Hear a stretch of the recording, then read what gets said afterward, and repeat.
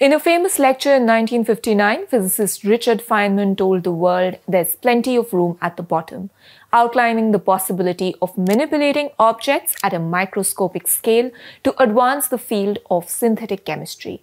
Although the concept did not gain immediate popularity, over time, researchers in the field of nanotechnology used Feynman's words to explain the implications. Over time, the growing need for digital storage pushed scientists towards the possibility of finding more room in nature's oldest data storage system, which is the DNA.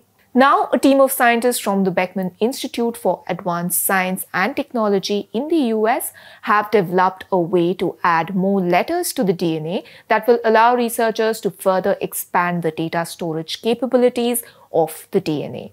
In this video, I talk about how researchers added the new letters to DNA and the development of a new technology that can read this artificial DNA to interpret the data. I am Mohana Basu and this is Pure Science. DNA can be a powerhouse for storing all kinds of media expanding the DNA's molecular makeup and developing a precise new sequencing method enabled the team to transform the double helix into a robust, sustainable data storage platform. In the age of digital information, the global archive is growing heavier by the day. Even paper files, old books, and documents are being digitized not only to save space, but to make the information more accessible and to protect it from natural disasters. Be it scientists, social media influencers, or just a person wanting to document and store cat videos, everyone stands to benefit from a secure, sustainable data lockbox. And according to the researchers, the DNA fits this bill. DNA not only survives long periods of time, it is also designed to weather Earth's harshest conditions, sometimes for tens of thousands of years, making them a viable data source. In fact, a lot of what we know about past life on Earth comes from the information extracted from the DNA samples preserved in fossils. To give some context, the amount of data generated on the internet on a single day can be stored in about a gram of DNA. Another important aspect of DNA is its natural abundance and near infinite renewability.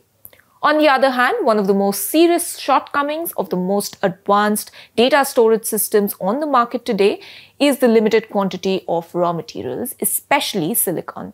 Silicon microchips end up in landfills within a few years of use.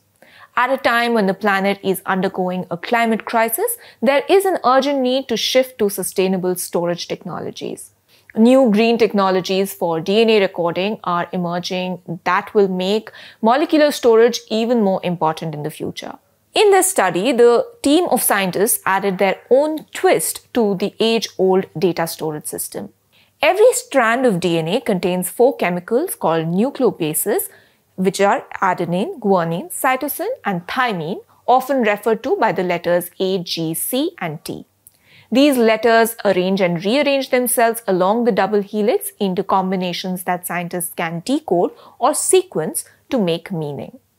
The researchers expanded the DNA's already broad capacity for information storage by adding seven synthetic nucleobases to the existing four letter lineup. With a large set of letters available, the DNA can encode more complex media. Since this is the first time that researchers used chemically modified nucleotides for information storage in DNA, the team also had a new challenge. Current technology is not capable of interpreting chemically modified DNA strands.